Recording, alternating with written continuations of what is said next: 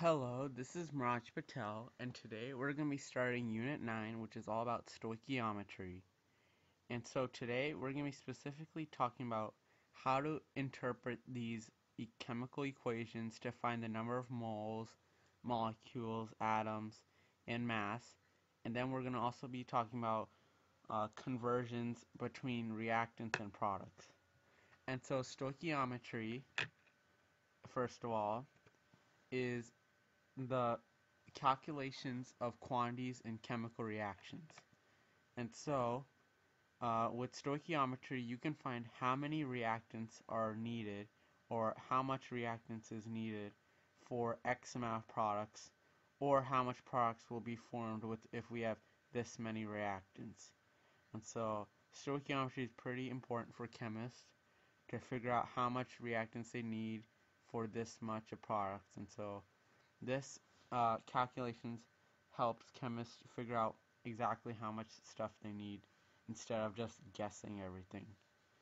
And so, the cool part is that balanced chemical equations show the amount of atoms, molecules, moles, and mass of the reaction. So that's pretty cool how this simple equation can tell so much.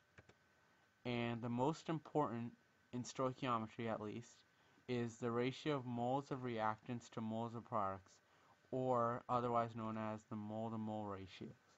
So moles to mole ratios are, we'll talk more about this, uh, but are the ratios of moles of one thing to another. And so this is important for con converting between moles of this or moles to that, or moles of this to this, or either way, anything. And so that's pretty important for converting from different substances to other substances. And so here we have a diagram of a reaction. So we have N2, which is a gas here by the low G, and then we have 3H2, which is also a gas, and it forms another gas, 2NH3. So we have two of these, and it's also a gas. And so here we're going to find out the number of atoms, molecules, moles, and mass of this equation on both sides. So here we have two atoms of nitrogen because have N2, so two nitrogens, and there's only one molecule. And then we have 3H2, so 3 times 2 is 6, so we have 6 atoms of hydrogen. Then on this side, we have NH3, so we have one nitrogen in each molecule, and then 3 hydrogens from this little subscript. And then we multiply that by 2, so we have 2 times 4, which is 8. So we have 2 atoms of nitrogen and 6 atoms of hydrogen. So in total, we have 8 atoms on this side and 8 atoms on this side. So that's nice. And so, here we have molecules. And so, molecules are calculated from the coefficients. So if you did not have this picture, you can figure out everything. We just, we're going to talk about rest right now. So we have one molecule because we have a coefficient of 1. We have three molecules of this because we have a 3 out here. And so then we also have a two molecules of NH3 and you can always uh, notice how it's always the same as the coefficient. And it, this will always be true so just count on this so don't worry about this. So just look at coefficients for molecules and the same is true for the moles. So you just look at the coefficients for moles and notice how it's exactly the same as the number of molecules. And then mass again is calculated by by the periodic table. So pretty much we count the number of each atom we have each type of atom. And so we have two nitrogen here six hydrogen here. Then we multiply 2 times nitrogen's atomic mass and we get 28 because 2 times 14.01 or approximately 14 is about 28 then 6 times uh, hydrogen's atomic mass which is 1.01 is about 6 so if we add 6 plus 28, we get about 34. And because we have the same number of atoms and same type of atoms on this side, this is all also the same. And it's always important to know that the mass and num atoms and number of atoms and type is always the same. This is always conserved, which means that mass and atoms is always the same on the reactants and products on both sides because we have to follow the law of conservation of mass. And so, and so here we have a equation. So we're gonna do the same thing we just did for another equation right here. Hydrogen, hydrogen sulfide, which smells like rotten eggs, is found in volcanic gases. Balance the balanced equation for the burning hydrogen sulfide is 2H2S plus 3O2 yields 2SO2 plus 2H2O. Woo! And so here we have this equation. And so we're going to figure out the same thing we did. Number of atoms, molecules, moles, and, and mass. So here we have atoms. So first let's count. So we have uh, two hydrogens and one sulfur in each molecule, but we have two molecules, so 2 times 3, because we have 3 atoms total, 6, so we have 6 here, just put that on the side. Then we have O2, so 2 molecules of oxygen, but we have 3 molecules of this, so this is also 6, so 6 plus 6 is 12. And then let's go to the other side, so 1 sulfur, 2 oxygen in this little molecule, but we have two of these, so it's six again. And then we have H2O, so we have two hydrogen, one oxygen, so three, with two molecules, so we have three, plus, I mean six plus six, which is 12. And so FYI, just from that rule we learned that atoms and mass is always conserved, it, once we figured out this, we could always just know that there will always be the same number. So we could have just skipped all this work here just by knowing that there's 12 on this side. Then we have molecules and mass, and so uh, so mass we can calculate is calculated by finding each type of atom and multiplying by the atomic mass. So let's just count the number of atoms in each type. So we have 4 hydrogen because 2 times this little subscript, so 4 hydrogens, 2 times the S, so 2 sulfur, and then 6 oxygen because 3 times 2 is 6 and this is also the same on this side so just don't bother so if we have 4 hydrogens we have to multiply 4 times 1.01 and then add it with sulfur's atomic mass times sulfur the number of sulfur atoms so we have 2 sulfur so 2 times uh, 32.06 so and then we add that with uh, 6 times oxygen because we have 6 oxygens. So 6 times 16, and if we add that up, we would get 164.16. And then the same is on this side because we have the same number of atoms. So always remember, atoms and mass is always conserved. So if we find one side, we can just assume it's correct, uh, right for the other side if it's balanced. So just remember, if it's balanced, it'll be true. Then we have molecules. So this is easy. We just get it by the coefficients. So we have 2 of this, 3 of this. So we have 2 and 3. So that's 5. Then we have 2 molecules of this and the 2 of this. So that's 4. Then uh, moles is also the same. Calculated the same. So again, it's the same number, 5 and 4. And so that is how you do it for every type of problem. So that's the same exact step. And so here we have a quick quiz to see what you learned. And so, the first question, a manufacturer of tricycles has 15 wheels, 6 frames, 5 handlebars, 12 seats, and 8 pedals. How many tricycles can be manufactured using these parts? And so we can can we make 5, 3, 6, or 4? And so the formula for a tricycle here, let's just imagine it's a chemical.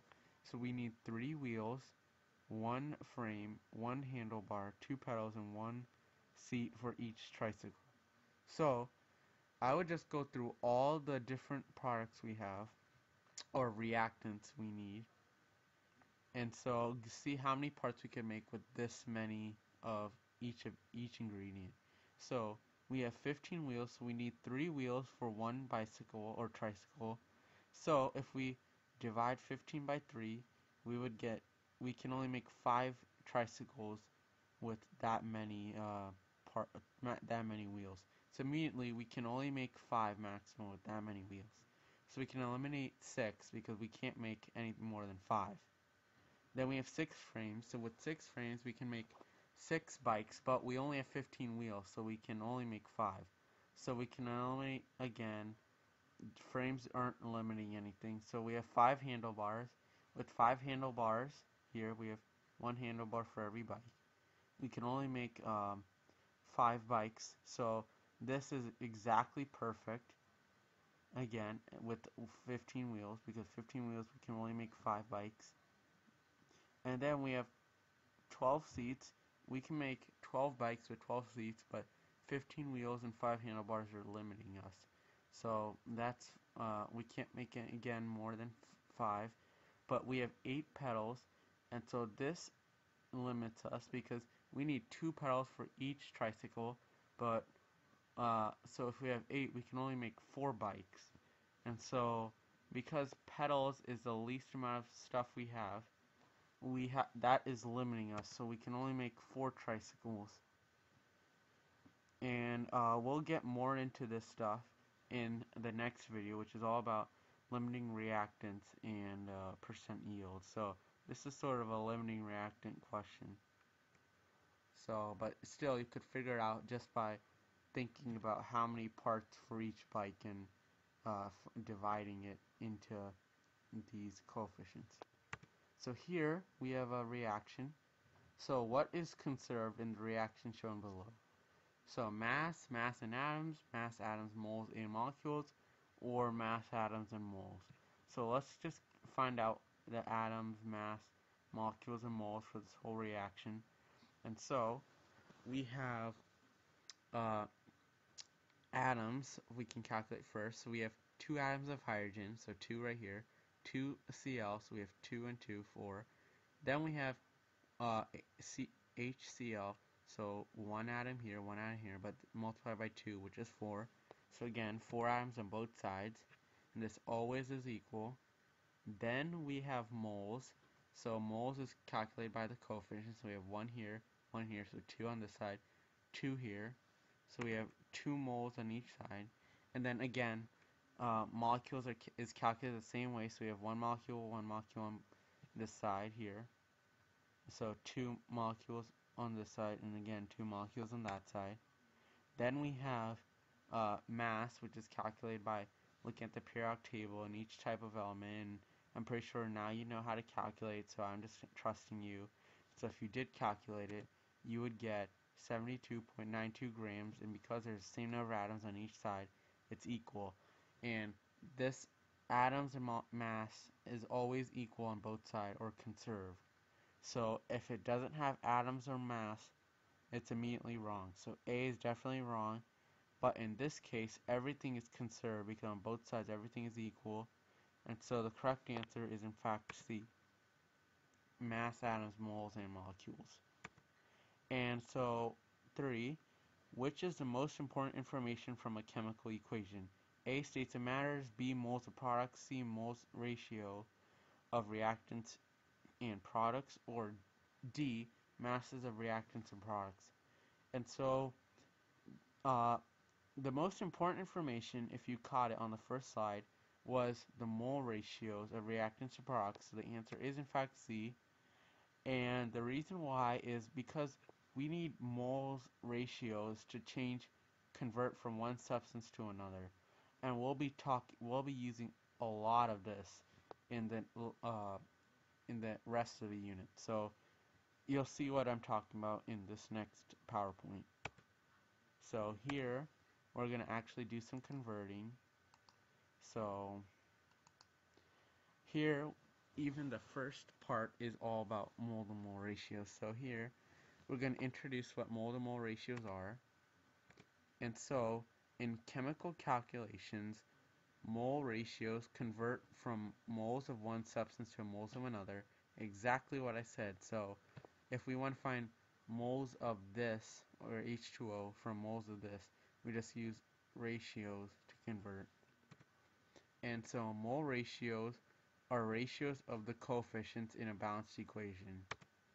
And so here we're going to go through some mole ratios. So for here's example ratio. So for every two hydrogen, we have one mole of oxygen. This is the ratio two to one. then we have another ratio. For every 2 moles of hydrogen, we have 2 moles of uh, H2O, so water. So again, this is just coefficients comparing.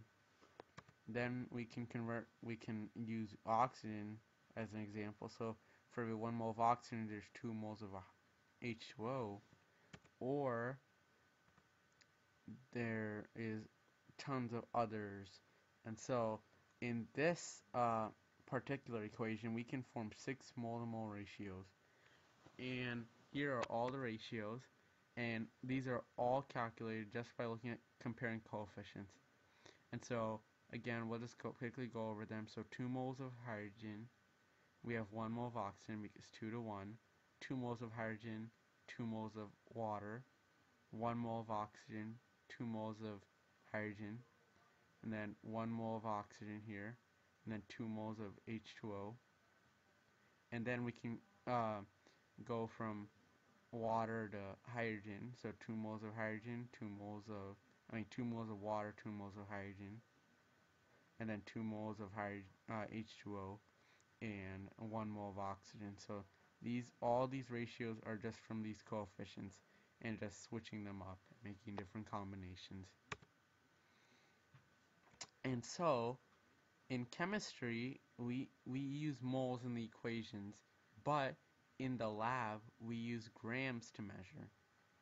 So, we can't convert directly from grams to A to grams to B, so we convert grams to moles using uh, molar masses, and then we use uh, mole to mole ratios to convert from A to B, moles of A to moles of B, and then we use uh, molar mass of B to convert from moles of B to grams of B. And so that's the whole step.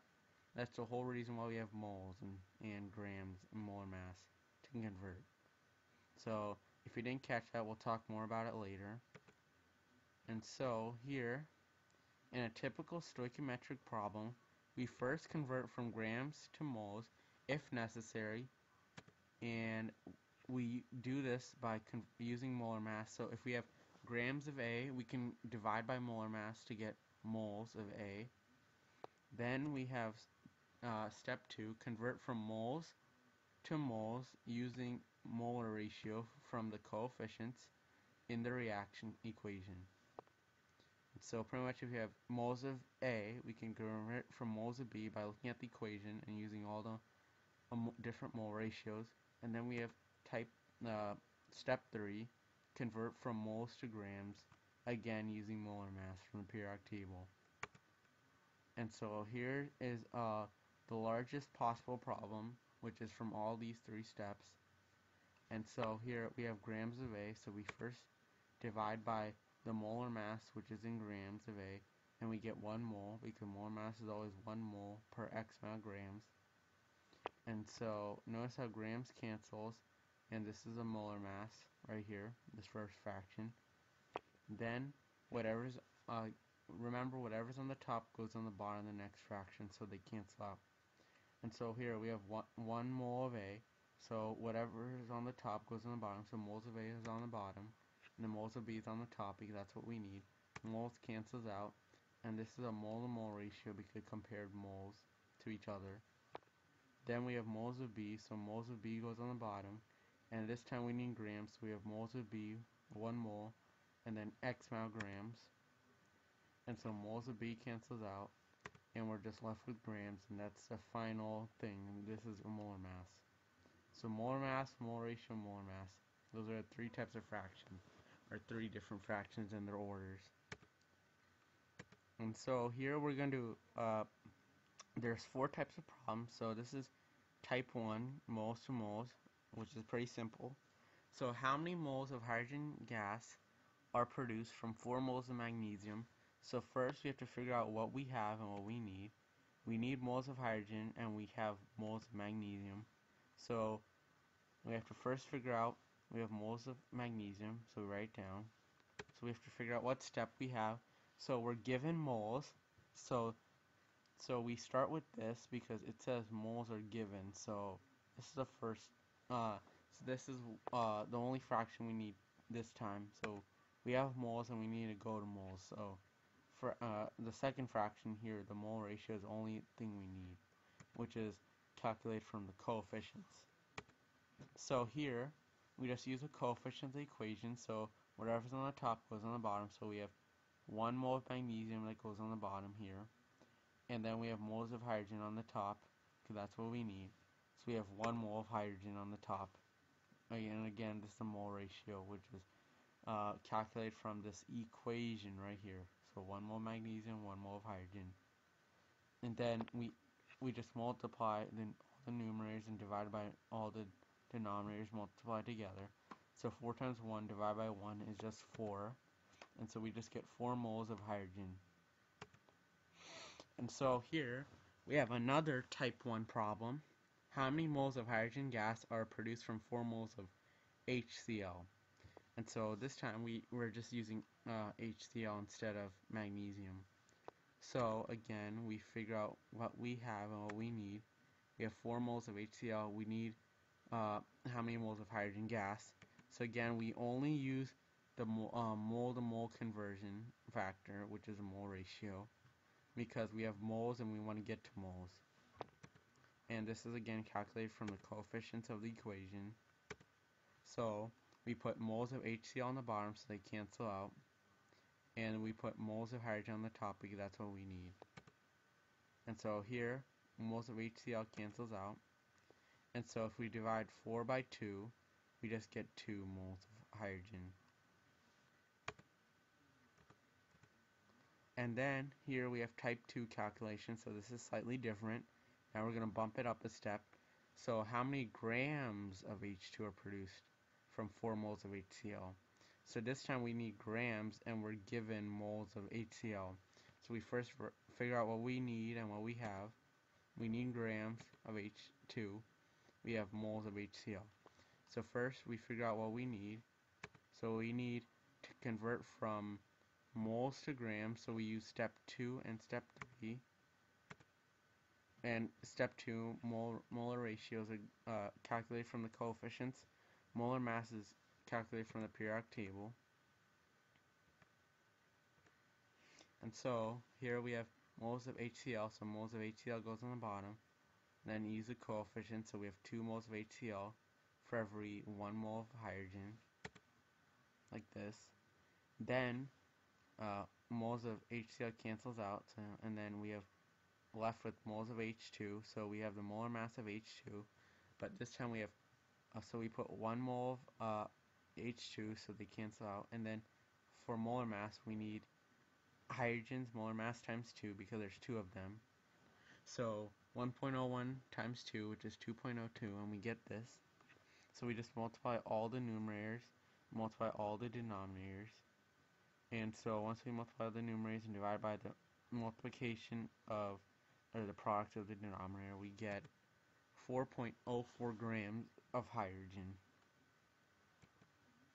And here we have type 3, so we're going to bump it up one level more. So this time it's asking how many moles of H2 we have if we have 48 grams of magnesium. So this time we start with grams and want to go to moles instead of moles to grams. So we have to figure out what we need and what we have. So we have 48 grams and we want to get to moles. So we're going to have to use step 1 and step 2 this time. And step 1, which is molar mass, is calculated from the periodic table. And then step 2 is calculated from the coefficients in the equation. And so here we have 48 grams of magnesium. So whatever's on the top of the fraction goes on the bottom. So grams of magnesium goes on the bottom. And then for in molar mass, there's always one mole with X amount of grams. So in this case, there's one mole with 24.31 grams of magnesium, which is from the periodic table. So grams cancels out, we're left with moles. Check right there. Now we have moles of magnesium, we need to get to moles of hydrogen.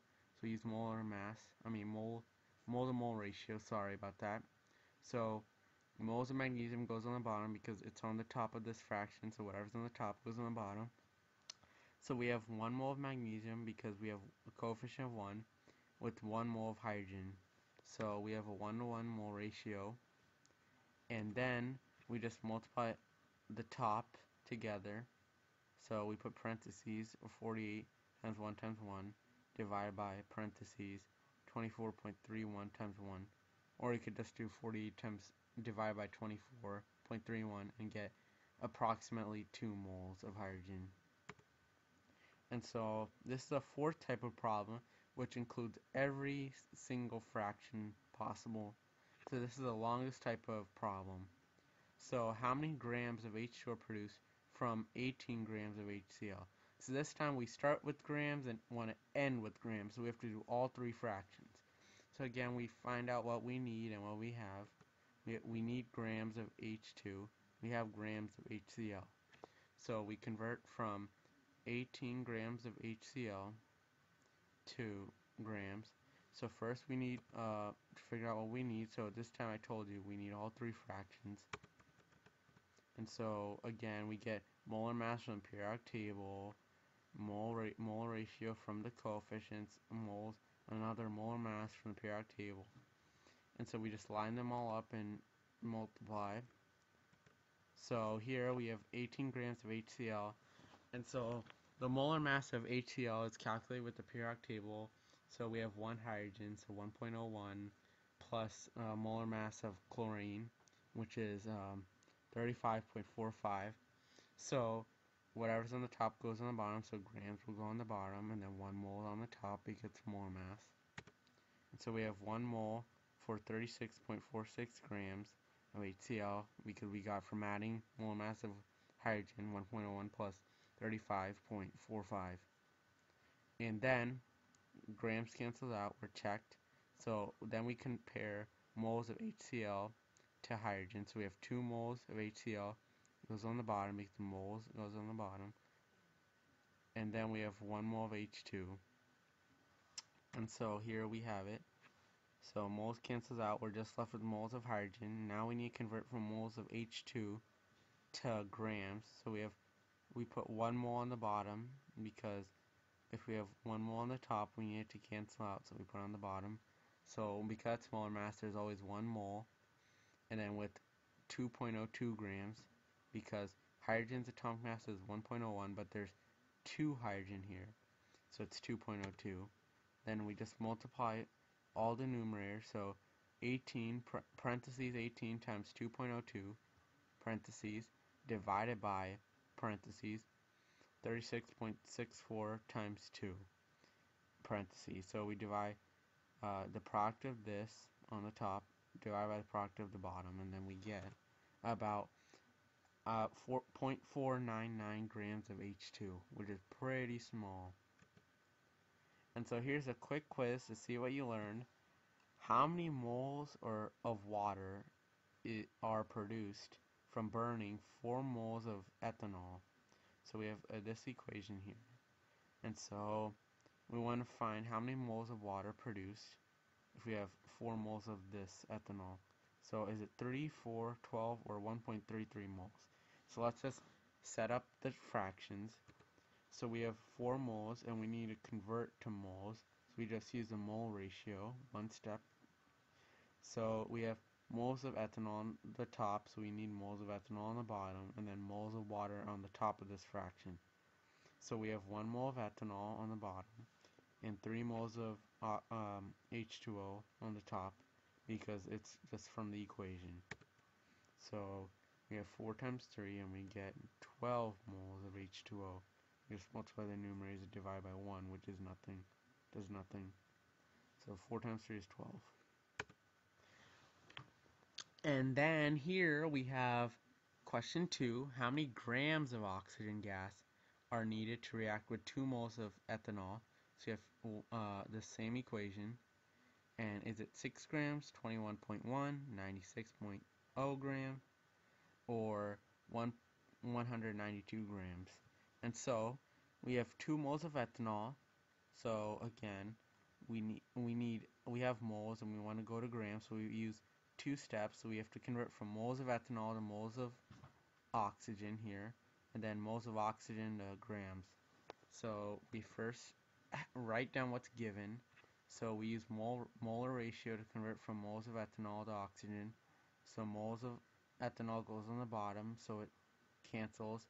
So 1 mole of ethanol for 3 moles of uh, oxygen, so we get this from the equation.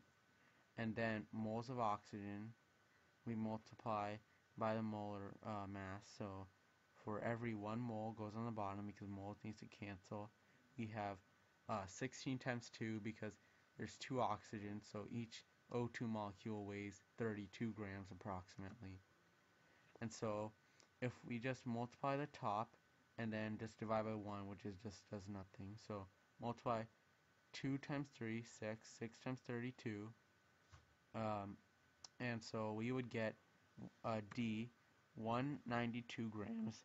And so just as a tip here, just for a test taking strategy, if you did not have a calculator or you wanted to do this problem super quickly, you could have just set up this fraction. And so just from uh, just from using estimation or approximations, you could figure out that this is a very large number because if you multiply 6 times 30, so just think of 6 times 3 and then add a 0. 6, 6 times 3 is 18, plus a 0 is 180. So out of all these answers, these answers are so far apart, the only answer close to 180 is D. So just remember, just use your uh, common sense and approximation skills to figure out answers instead of punching into the calculator. So just as a test strategy if you need some time or anything. And so that is it for today. So today we talked about uh, stoichiometry and um, how to interpret those equations to find the atoms, molecules, moles, and mass. Then we also talked about um, how to con convert from grams of substance to moles to back to grams. And so we use those three fractions, molar mass, mole to mole ratio, which is from the coefficients, and molar mass, again for the periodic table. And remember what's on the numerator of the first fraction goes on the denominator of the next fraction, so they cancel out. And then also remember uh, mole to mole ratios are very important in stoichiometry in general for it because it helps convert from substance of A or like reactants to products and tells the chemist exactly how much we need. And then for um, the first part we talked about, just remember atoms and mass is always uh, conserved because has to follow the law of conservation of mass. And uh, remember that molecules and moles is calculated from the coefficients, just adding them up. And usually they're always equal. And so that is it for today. And so the next video is going to be all about limiting reactants and percent yield. And so uh, until next time, I hope you have a good day, and we'll see you later.